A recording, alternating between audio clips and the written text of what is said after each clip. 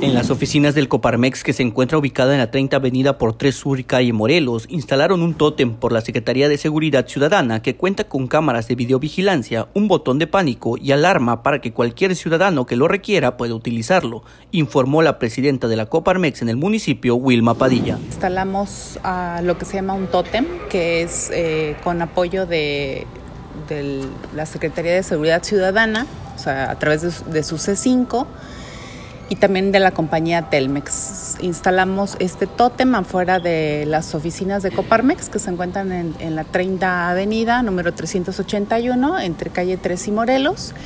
Esta es una caja donde tiene varias cámaras de videovigilancia.